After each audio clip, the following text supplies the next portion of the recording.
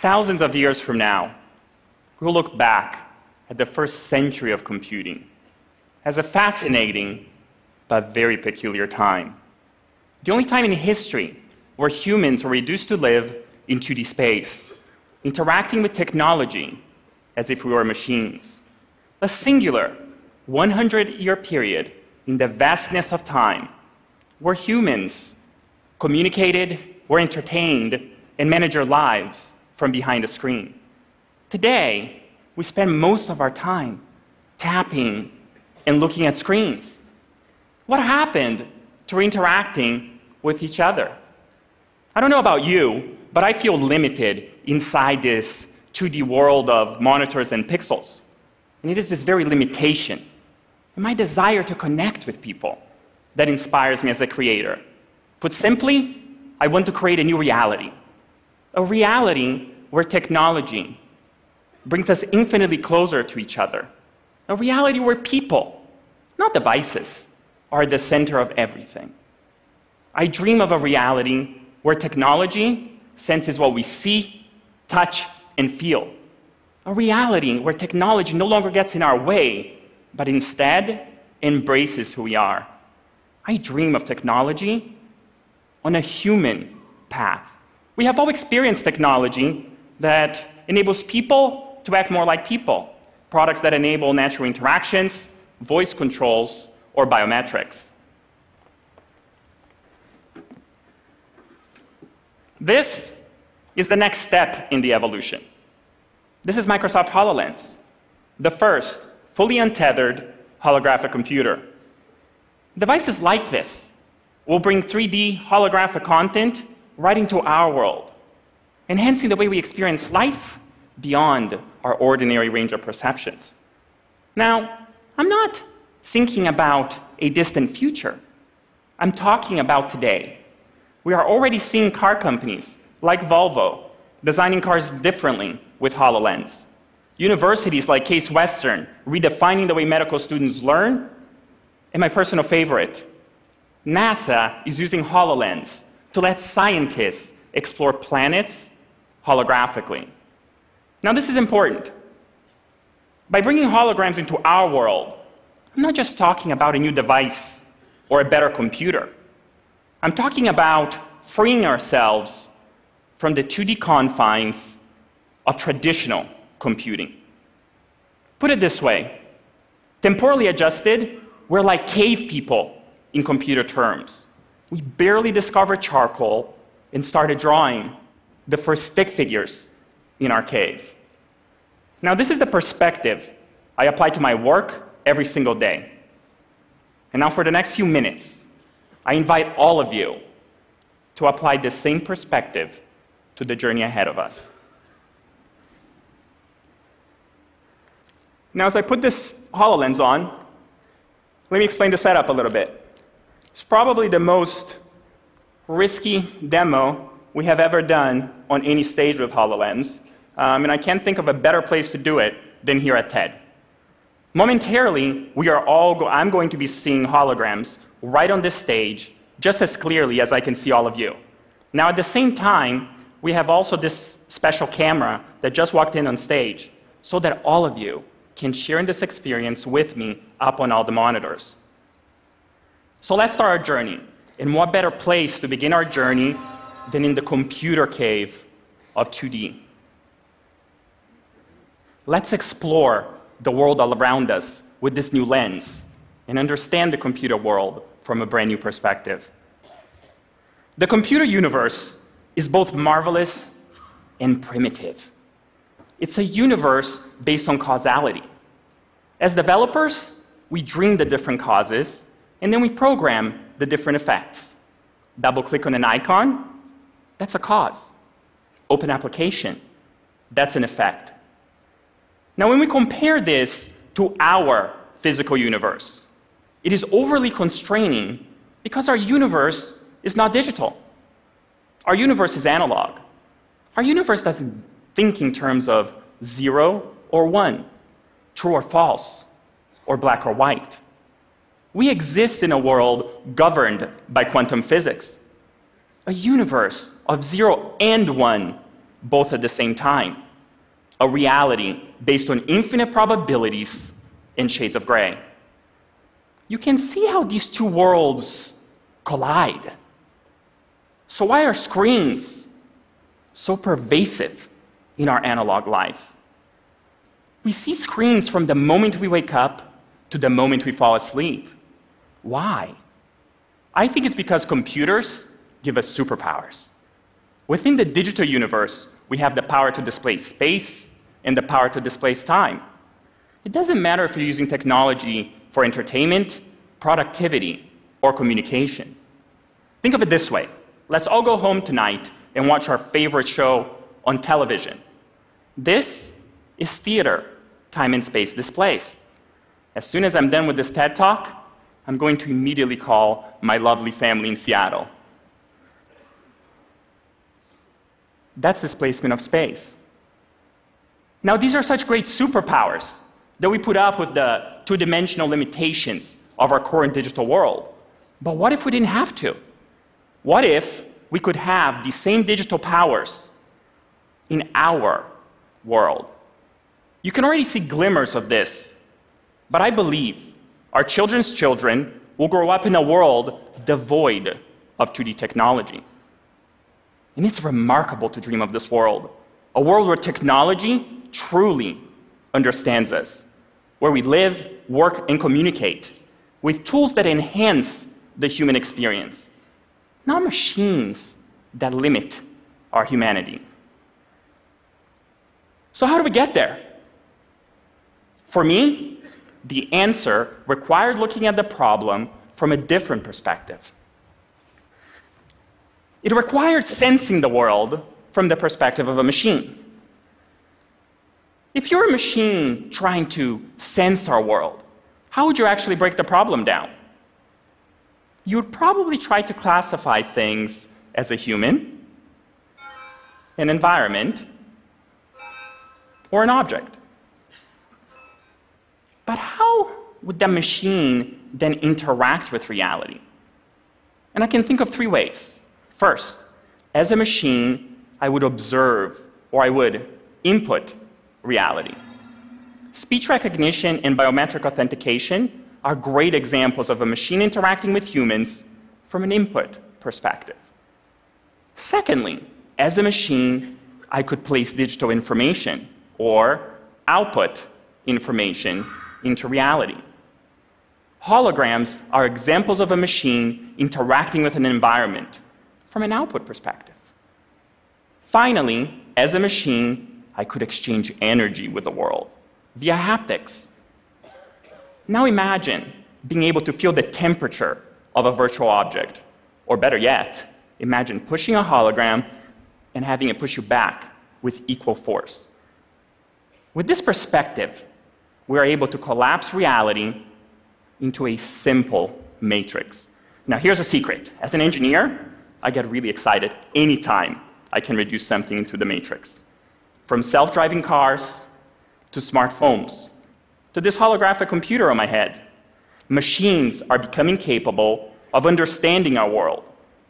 And they are starting to interact with us in significantly more personal ways.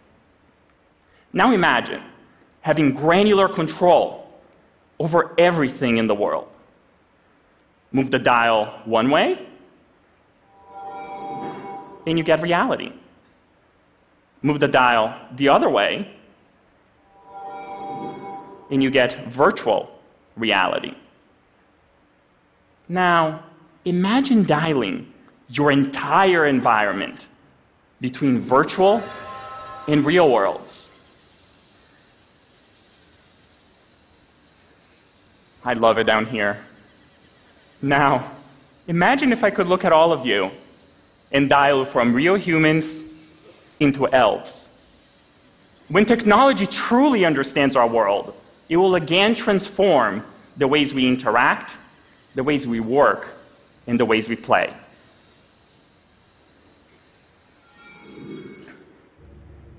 Less than half a century ago, two courageous men landed on the moon using computers that were less powerful than the phones in your pockets. 600 million humans watched them on grainy black and white televisions. In the world, the world was mesmerized. Now imagine how our children and their children will experience the continued exploration of space with technology that understands this world. We already live in a world where real time universal translators exist. And I can squint and I can already see holographic telepresence in our near future. In fact, since we've been lucky with our demo so far, let's try doing something else even more crazy. I invite you to experience, for the first time anywhere in the world, here on the TED stage, a real life holographic teleportation. Between me and my friend, Dr. Jeffrey Norris from NASA's Jet Propulsion Laboratory. Fingers crossed. Hi, Jeff. Hey, Alex. Whew, that worked. How are you doing today, Jeff? Doing great. I've had an awesome week. So, can you tell us a little bit, Jeff, about where you are? Well, I'm actually in three places. I'm standing in a room across the street, while I'm standing on this stage with you, while I'm standing on Mars, 100 million miles away. Wow, 100 million miles away. This is crazy. Can you tell us a little bit more about where all this data from Mars is coming from? Absolutely. This is a precise holographic replica of Mars, built from data captured by the Curiosity Mars rover that I can explore as easily as a place on Earth. Humans are natural explorers. We can instantly understand an environment just by being present in it. We've built tools like our Mars rover to extend our vision and lengthen our reach, but for decades, We've explored from a seat behind screens and keyboards. Now, we're leaping over all of that, over the giant antennas and the relay satellites and the vastness between worlds, to take our first steps on this landscape as if we were truly there. Today, a group of scientists on our mission are seeing Mars as never before. An alien world made a little more familiar because they're finally exploring it as humans should. But our dreams don't have to end with making it just like being there. When we dial this real world to the virtual, we can do magical things. We can see in invisible wavelengths or teleport to the top of a mountain. Perhaps someday we'll feel the minerals in a rock just by touching it. We're taking the first steps. But we want the whole world to join us in taking the next because this is not a journey for a few, but for all of us. Thank you, Jeff. This was amazing. Thank you so much for joining us on the TED stage today.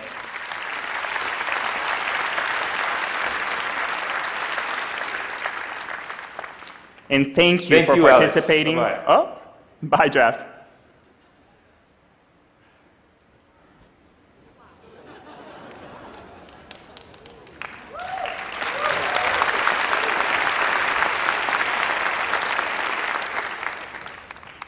I dream about this future every single day. I take inspiration from our ancestors. We used to live in tribes where we interacted, communicated, and worked together. We are all beginning to build technology that will enable us to return to the humanity that brought us where we are today. Technology that will let us stop living inside this 2D world of monitors and pixels and let us start remembering what it feels like to live in our 3D world. It's a phenomenal time to be human. Thank you.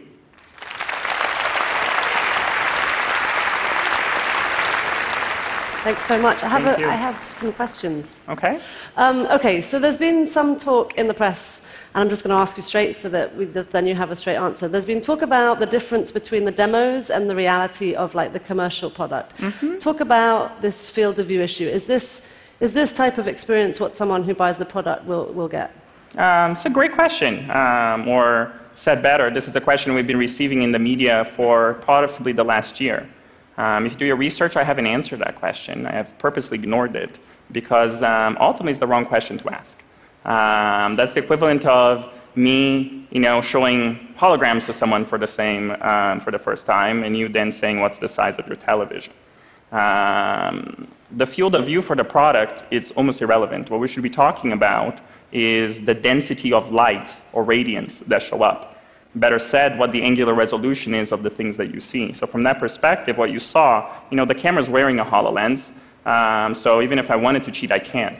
What you are seeing But the camera has a different lens on it than our eye, right? the camera has a fisheye lens on it, right? So Right. it's seeing a much wider view than the human eye is. Right. So if you think about the points of light that show up radially from the vision of the camera, which is the thing that matters, how many points of light can I get in a given volume? That's the same as I get on this HoloLens as I will on that one. Now, this camera sees a much wider um, view of the world, right? Jesus Christ. And he did show up. I told you he was going to show up. Come this way.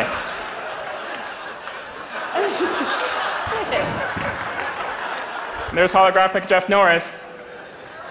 I knew something was happening, but I really wasn't sure. So, in short, to be super crisp, the camera that you Oh. see on the screen has a wider field of view than the human eye, but the angular resolution of the holograms that you see, the points of love, the, the points of light per unit of area, are actually the same. So you spent, Jeff, I'll get to you in a minute. I don't, I don't look quite, yeah. Uh, so you spent a lot of time mapping the stage. So I, That's right. I, help me out here. When I, if I buy a HoloLens and I have it at home, I don't, I don't need to map my apartment, right? The HoloLens maps in real time at about five frames per second with this technology that we call spatial mapping. Um, so in your home, as soon as you put it on, um, you know, holograms will start showing up and you'll start placing them and you'll start learning your home. In a stage environment where we're trying to get something on my head to communicate with something over there, with all of the wireless connectivity that usually brings all conferences down, um, we don't take the risk of, you know, trying to do this live. Um, so what we do is we pre-map the stage at five frames per second with the same spatial mapping technology that you'll use with the product at home, and then we store it so that when there's shenanigans of wireless in an environment like this between camera, HoloLens, and the one on my head, we don't have you know, things disappear. Because ultimately, the holograms are coming from this HoloLens, and that one is just viewing the HoloLens. So if I lose connectivity, you will stop seeing beautiful things on the screen. And it was, it was beautiful. Um, Jeff, Yeah? hi. I'll take a step back. So, uh, so Jeff, um, you were on Mars, you were here, you were in a room across the street. Tell me more about the, the fact that with holograms you don't have sight. Uh, you have sight, but you don't have touch, you don't have smell. Is this scientifically useful now? That's my question for a hologram. Uh, thanks for the question. It, absolutely, I believe that these technologies are scientifically useful right now, and, and that's why we're using them in multiple parts of our work at NASA. So we're, we're using it to improve the ways that we explore Mars. Uh, we're also using it uh, for our astronauts on the space station. Uh, we're even using it now to design the next generation of our spacecraft. Amazing. Okay, Jeff, please go away. Thank you very much. Alex, really, that was amazing. Thank you so Oh, much. Thank you. Thank you. Thank you.